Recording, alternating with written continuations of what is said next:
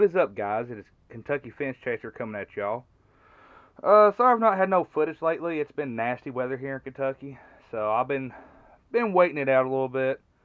But uh, today I figured while I've got the opportunity and the chance and a few moments to myself, I want to show you guys one of my favorite baits that I use for catfish. Um, I have I don't know how many thousands of different catfish recipes I can share with you guys. I want to show y'all how to make it, and I want y'all to go out and uh, try them, see if they work in your area. Well, this is one of my favorite favorite catfish recipes I use. It's real cheap, uh, it's real quick and easy. You can make it within two or three minutes and take it fishing with you right then and there. There's no waiting, no nothing. Alright, let me get down to it and I'll show you what you need. First, you will need some chicken breast, boneless if you can, anise extract, pure anise, a Ziploc bag, cutting board, and of course a good old trusty razor blade to cut the chicken breast up. Alright guys, now that you got your chicken breast out here, it's time to cut it up. I got an old trusty razor blade here, and uh, we're going to cut it up into about, I don't know, about that size. I'll show y'all. And let me get this cut up for you guys, and I'll show you. Alright guys, here's my chicken breast cut up, as you can see. It just magically appeared. But anyways, uh, this is the size I like to use. They're not real big, not real small. Um, I've caught blues, flatheads, and channel cats with these, and I've also caught rainbow trout. I've caught, of course, bluegill with them. And I've caught one bass, I think, one or two bass on these, largemouth.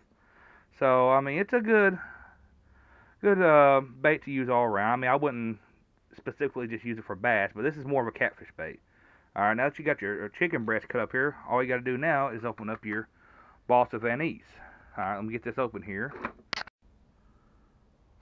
Alright guys, after you've added your anise to it, your chicken breast should look a little bit like this. It will have like a little milky color to it, okay?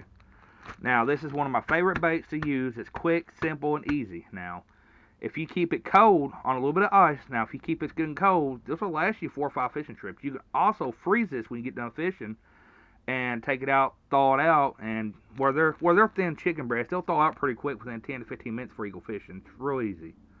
Um, the total cost for this bait here that you know I just shown you guys, uh, the anise runs anywhere from 2.96 to three bucks. You can sometimes get it cheaper at Kroger's. I got this at Walmart in the spice aisle with the flour. Uh, the chicken breast here, I paid three dollars and three cents. I mean, you can sometimes catch it on sale cheaper when it's outdated, but this here was fresh.